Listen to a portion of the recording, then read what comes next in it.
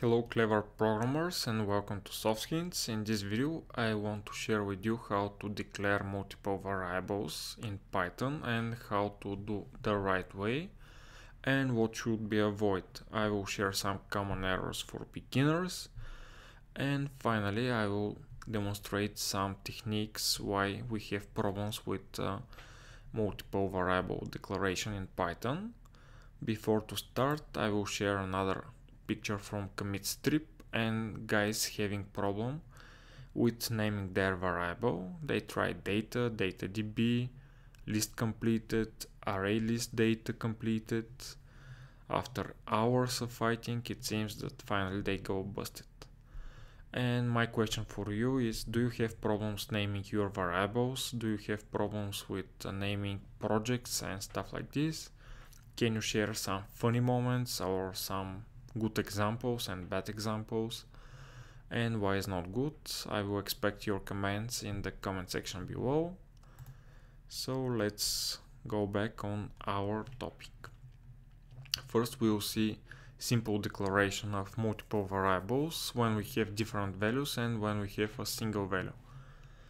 And let's see our example uh, here we can see how to declare multiple variables when we have different values. For example, here we have three, three variables x, y, and z, or x, y, and z, depending on your language. And we assign value none to all of them. Below you can see uh, 1, 2, and 3, again assigning to these variables.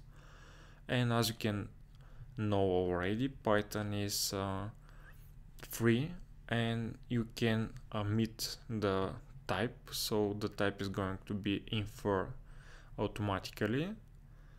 And python is strictly objects oriented which means that uh, everything is object in python. So uh, this is created as an object uh, the same is for this one and we have assigned an object ID with each of these variables and we'll see later why this is important and how to use it. Um, here we are assigning one string and a list and here we have two boolean values and what is going to happen if I add one more value here maybe you think that uh, we are going to initialize x with true, y with true, and we'll just skip this. But you're wrong in this case because we have error.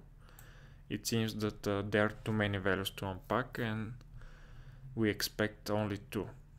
And what is going to happen if we have the reverse case? We have only one value. Again, we have uh, error this time it's saying that uh, the type of this value here it's not iterable and cannot be iterated over it in order to assign values to these two variables. Okay so these are the two errors that we have. Uh, how we can assign one and the same value for our variables we can do it in this way. Or we can add equal signs here.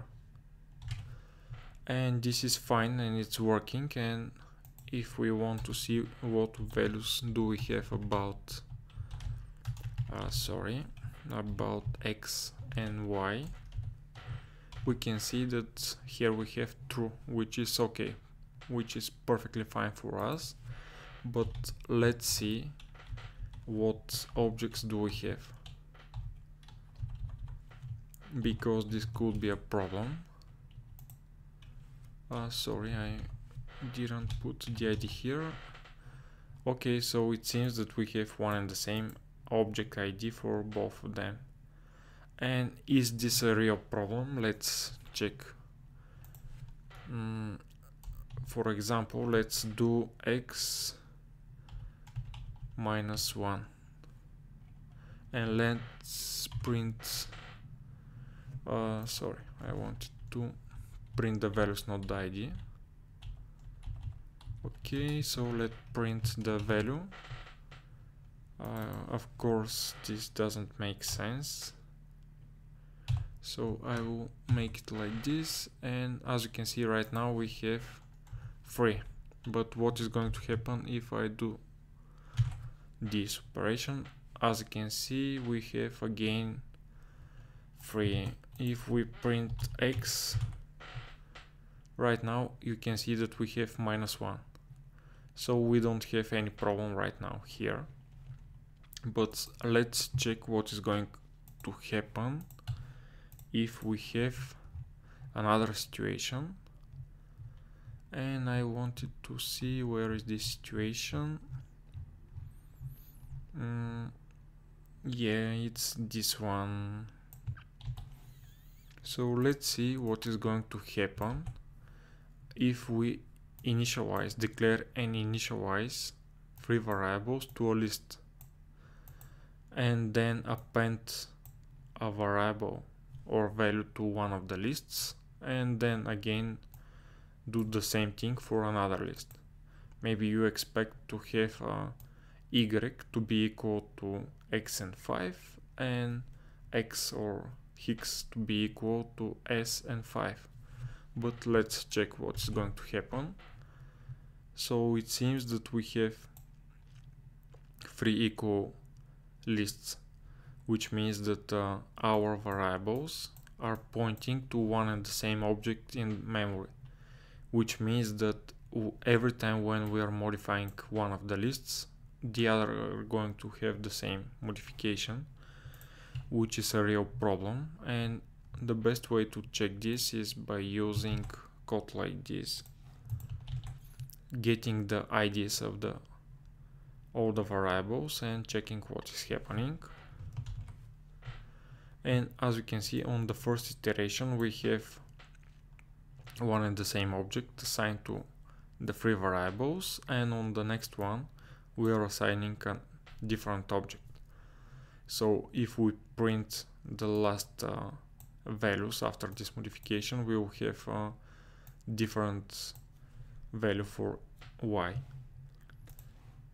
but these are some of the problems that you need to, to have in mind and take care when you're dealing with multiple assignments and multiple declaration of Python variables. So let's go on how to declare them using tuple, list and ranges. You can assign None-value to these three variables by using this syntax tuple non, uh, asterisk and free you can do the same also with uh, true or any boolean value. You can use a range for example 0 to 3 to assign values 0 1 and 2 to these variables and finally you can use a list like this and if we run the code everything is going to be okay but if you add one more element to this list you have an error the same as we saw it already. The same is for the rest of the examples. So you need to be really careful when you're dealing with these situations. And finally, I wanted to share one another error with you, which was uh, a clear one and easy one, but maybe it's difficult for beginners we uh, not have enough values to unpack. So as you can see here we expect 3 but we got 0. And the way to solve this is by adding elements here. So the other error was int object was not iterable when we have uh, less values comparing to the variables. And on the other hand, if we have more values than variables, we have too many values to unpack. So these are the three common errors for multiple declaration. And if you have any questions, as always, please do share them in the comment section below. You can see the one of the latest videos from me on the screen. You can see the subscribe button. So if you like the videos, please do subscribe. Thank you for watching and see you next time.